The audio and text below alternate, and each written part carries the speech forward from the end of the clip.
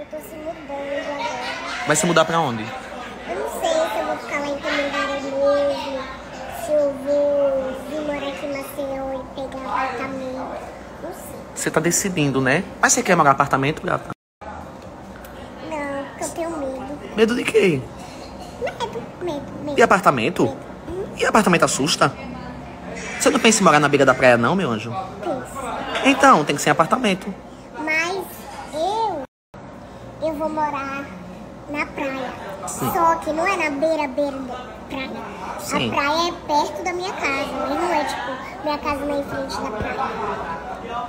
Ela só é perto da praia. Se você andar um pouquinho e chega Você na tá se dando bem com o seu irmão? Mais ou menos, porque daqui a pouco ele rouba minha fama, minha herança. Mas não tem herança ainda. Olha tio. Ainda não tem herança, não. Minha filha só tem um iPhone. A minha, a minha filha ainda vai conquistar a herança dela, viu? A minha filha só tem um iPhone, o nome dela.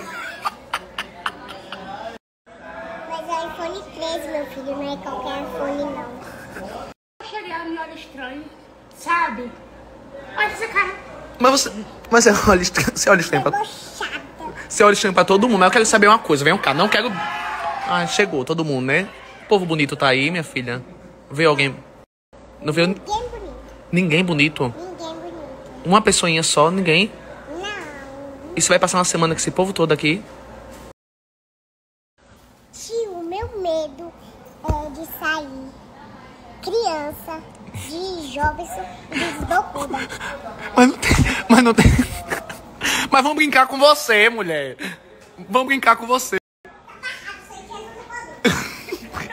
Eu acho tão engraçado, Andriele, porque desbocuda tá aqui, ama, ama ela, mas ela só escolhe as bonitas pra ficar perto. Qual é o seu problema, mamãe, com as feias?